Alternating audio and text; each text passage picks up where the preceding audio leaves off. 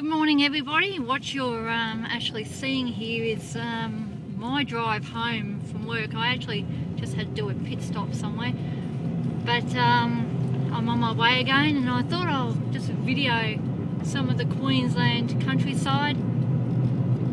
Uh, it takes me about 15-20 minutes to get home. I'm going through,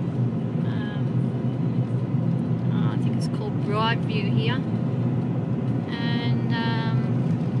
mainly yeah, And um, some horses and cattle and sheep and yes, typical Queensland uh, countryside.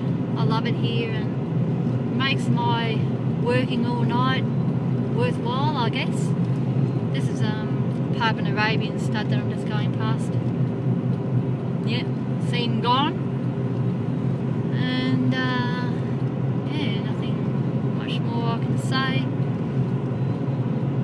at the moment. I'm sort of, yeah, that's it. And I'll leave you have a little bit more of a view and then I'm going to switch off because I'll be turning a corner soon and I don't want to have an accident holding the phone at the same time. It's dangerous. Um, yeah, this is my road ahead. There you go. How exciting. Lovely. And my um, turn off. Lowood.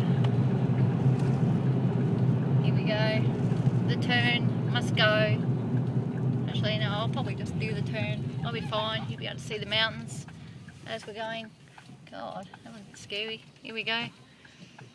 Um,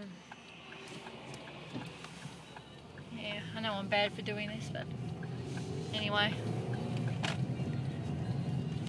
Yeah, on our way again. Yeah, hang on a minute.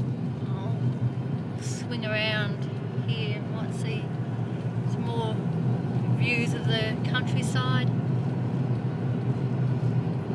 Further ahead is um, the mountains of Lowood and as we go a little bit further I'll show you where Wivenhoe Dam and places like that are.